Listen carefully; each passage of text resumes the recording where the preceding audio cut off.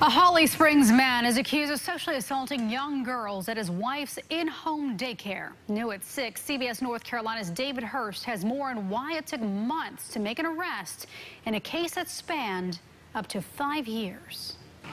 Deputies had been looking for 59-year-old Danny Parrish for months. Three or four cars deep, you know, they would be coming over there and they would stay all day you know, waiting for him. Investigators started looking for Parrish back in December when a six-year-old girl claimed he sexually assaulted her in a barn next to Parrish's wife's in-home daycare. That shouldn't happen to a kid never happened to a kid. Deputies arrested Parrish this week, and a search warrant reveals a second victim recently came forward.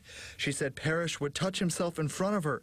The second victim, who is now 14 years old, says these incidents occurred daily over a five-year period. I would never, ever thought it would happen here. At least one neighbor we spoke with says last year a family member considered taking their children to the daycare, but decided to take their kids elsewhere my daughter-in-law was going to take hers down there. I mean, saw the place and she just, she was like, no, you know, I can't do it. A woman who was at the home when I visited said the family did not want to comment. The state pulled the daycare's license as part of the investigation. Parrish is being held here at the Harnett County Detention Center on a $300,000 bond. He's next due in court on August 10th. Reporting in Harnett County, David Hurst, CBS, North Carolina.